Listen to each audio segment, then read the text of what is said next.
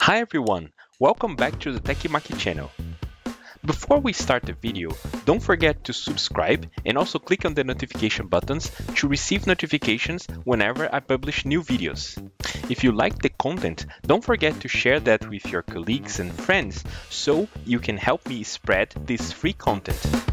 Alright, so today we are going to work in the implementation of our repository generic class. This repository generic class is going to allow us data access and also data updates in our RavenDB database. This is the database of our menu service. In the series, we are creating an order taking system. In this video, I'll also switch my IDE, as you can see here on the screen. I'm going to start using the Visual Studio 2019. In the previous videos, as you could see, I was using the Visual Studio Code. The Visual Studio Code is a great tool, but for me, Visual Studio 2019 give me more productivity. Although everything that I'm going to show in this video can be done in Visual Studio Code or in any other IDE of your preference. Visual Studio 2019 can be also downloaded for Mac and for Windows. We have for Windows a free edition that is called Community Edition. Okay, so now let's jump into coding. Two videos from now, we created the first API of our service. It is a GET API that actually retrieves the product based on a product ID that is informed. In the previous video, we have created the RavenDB context. The RavenDB context is basically the way that we use to access the document store of RavenDB, which is basically what allow us to make queries, to update documents, and to insert documents in RavenDB database. Today, we are going to connect these two parts. We are going to not use anymore fake data. We are going to retrieve the items from the database. So the first action that we need to do is create the iRepository interface. Let's do it. Here I'm going to create a public interface iRepository. This public interface will be a generic interface. So the concrete class that will implement this interface here, when it is instantiated, it will receive the data type that it needs to work on. So all the operations of this class are going to work with a data type that is specified when the instance of this concrete class is created. So it's basically injected inside of this class and available only when there is an instance of it.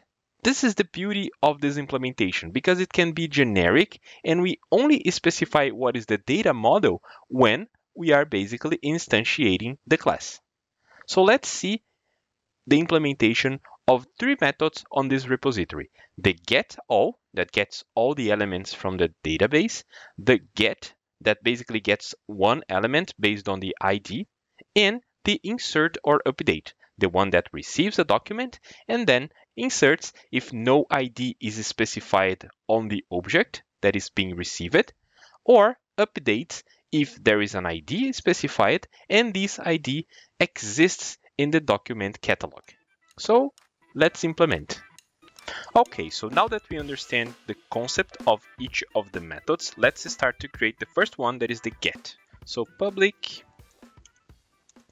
t get. So basically we are going to receive an ID and return whatever, generically speaking, model we need to return on this get. The second method is going to be get all. But for the get all, there is one important thing that we need to take into consideration.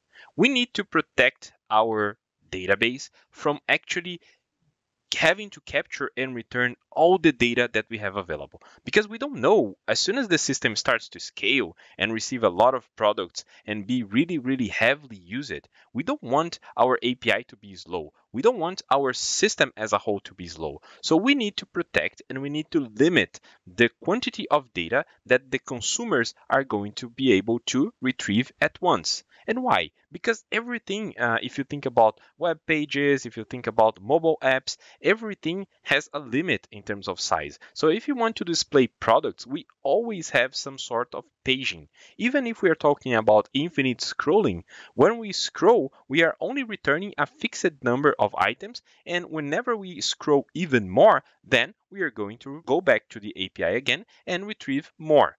So the idea here is that we want to protect our get all call, right? And we want to make sure that we return pages. So for this, let's specify here that we want to first receive the page size, and secondly, we want to receive the page number. So we just return one page of a fixed size, and then the consumer can define what is the size, and then basically can define also the page number, which of these pages from the whole content that we have in the database the user wants to consume at the moment.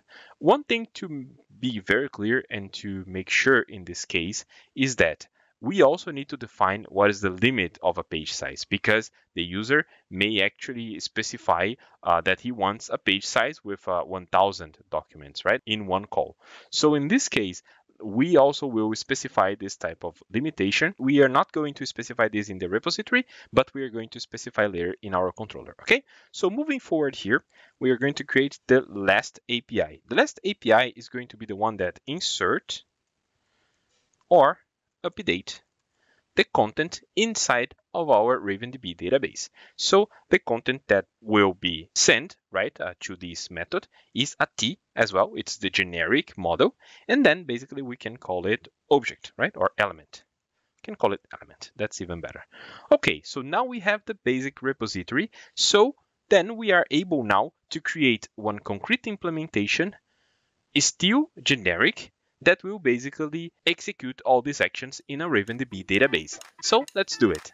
All right, another important thing before we go straight to the concrete implementation. The good thing about creating interfaces in this case is that in the future, we may want to switch this database solution to, for example, MongoDB or to Cosmos DB.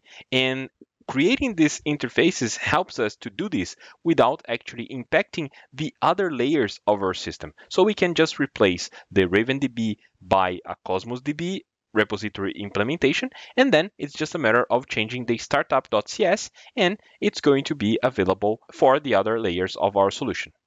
All right, so let's just go ahead for the code and then implement the class RavenDB repository and this RavenDB repository is going to be a generic class as well.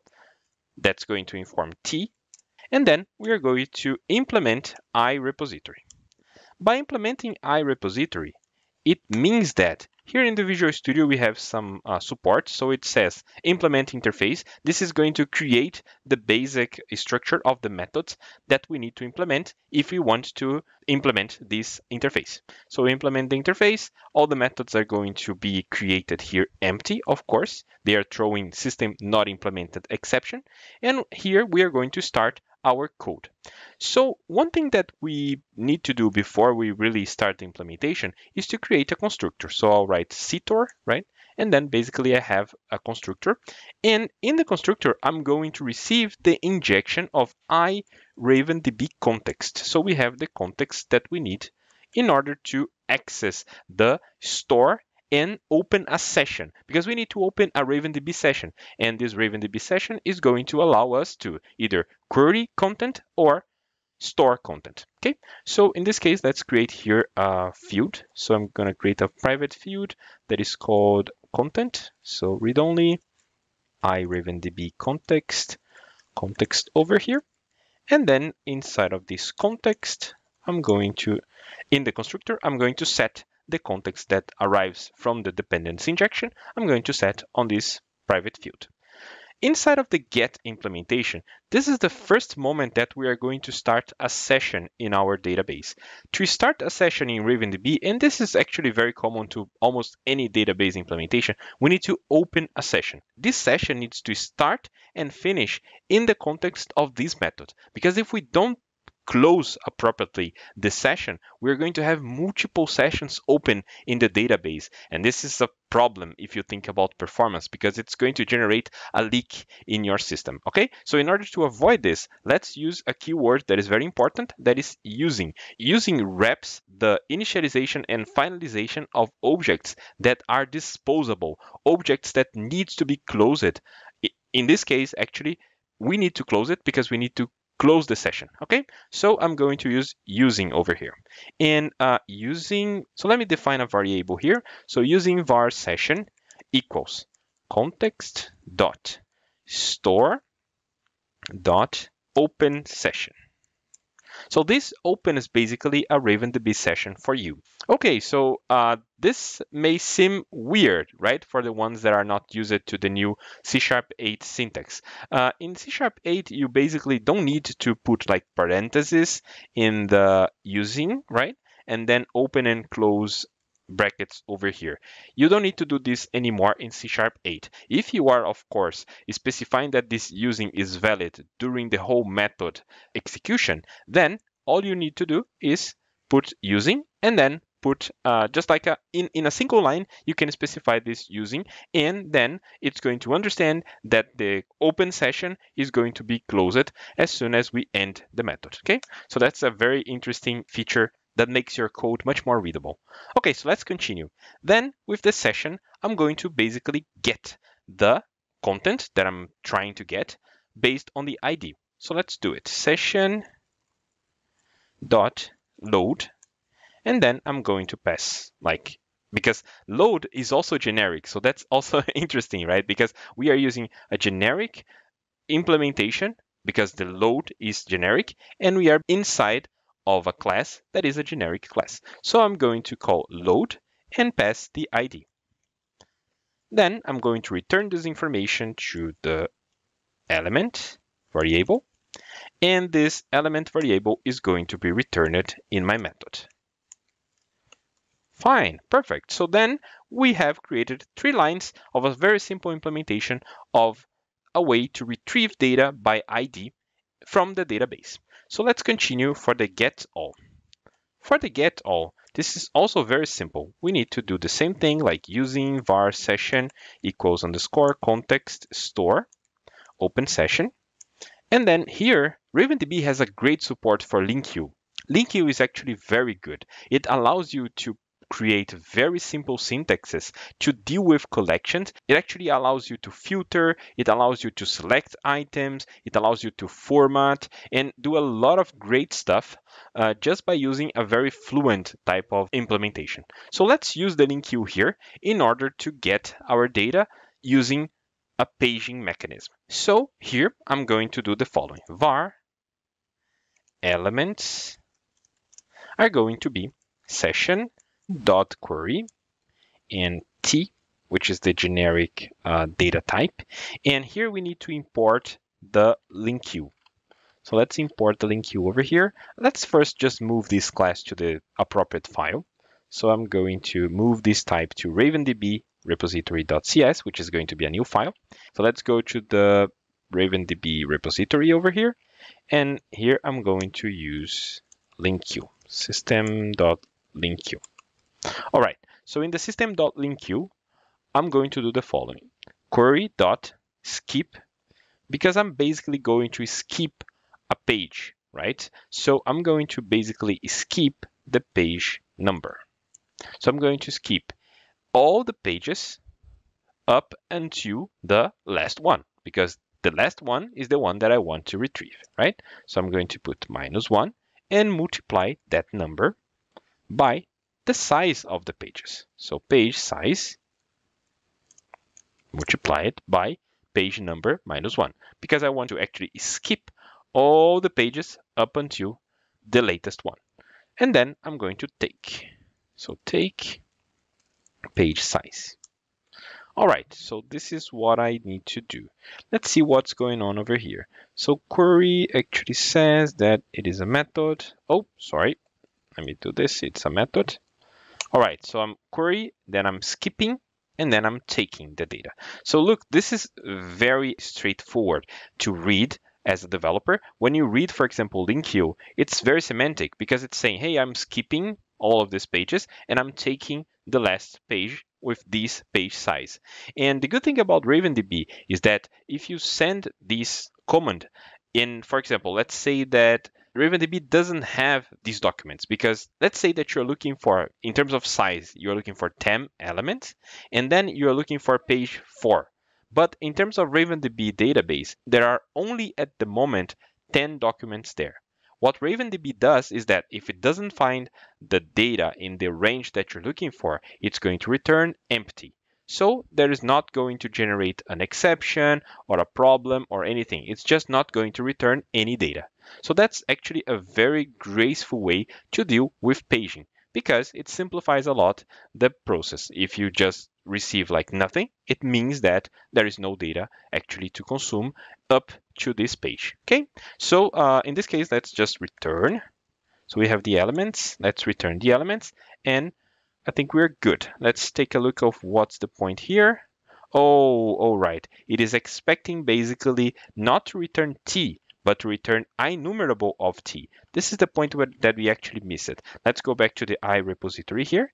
And then in the get all, we need to return an IEnumerable of this generic type. And uh, what is an IEnumerable? IEnumerable is a, an interface that is implemented by many of the collections that we have in C Sharp. So if we use IEnumerable, that's a very generic way to describe that this is going to be a collection of data. So let's do this IEnumerable and then basically enumerable of t. Let's see here because it's asking me to import probably system.collection. Let's see. Yes, using system.collections.generic. Cool. So here we have the I repository. We need to go back to the RavenDB repository and implement appropriately the return over here. IEnumerable of t. Cool. Great. So let's see now if that has worked. Oh, we, I also need to use the same uh, IEnumerable. And that's, that's it. Now let's go to the last one, that is the insert or update. Another cool thing of RavenDB is that it also allows us to use the same method, which is called store, to either insert data when this data does not have any ID, or update the data in case this ID already exists in the catalog of documents. So that makes it very easy for us to implement a very generic insert or update. Okay, so let's do the same. So using var session equals context store open session, right? And then let's do the following. Let's uh, basically store this element. So session dot store and element. And finally, we do session.save changes. This means that we are committing these changes in the database. So store just basically put that in a kind of a staging area, right? It's waiting to be persisted. And then we call save changes and done. It is actually saved in the catalog of RavenDB. All right, so we have created the whole RavenDB repository implementation. So now let's make it available in the dependency injection so we can use it on the controller, okay? All right, but let's hold a little bit and continue our work in the next video where we are going to finish and actually consume the generic repository inside the API of the product service, okay? So I see you in the next video.